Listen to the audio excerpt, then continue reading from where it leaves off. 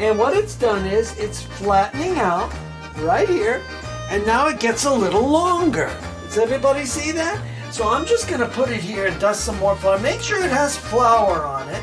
Flour's not going to hurt anything, but it also is going to keep it from sticking inside our Imperia pasta maker, right? All right, so we're going to run this through again.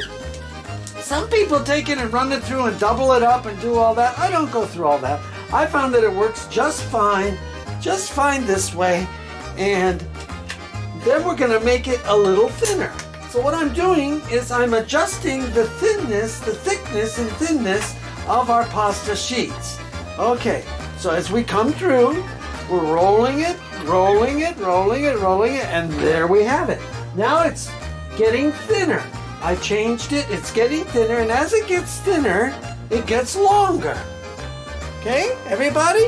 All right, this is real easy. Now I'm gonna make it thinner yet. I'm gonna change it down one more notch, and we're gonna feed it in, feed it right through, so that it's gonna get thinner.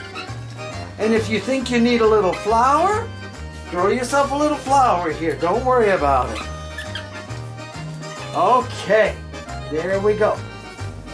Now we've got a pasta dough that is thinner. And this is beautiful egg pasta that I've made. And I use the zero zero flour, which makes it absolutely beautiful. Okay, so we'll run it through, we get it thinner, and when we come back, we're going to show you how it cuts and makes pasta noodles. Okay, so this is Peter Carpizzos. We love you all, and we'll see you in the next video when we cut our pasta noodles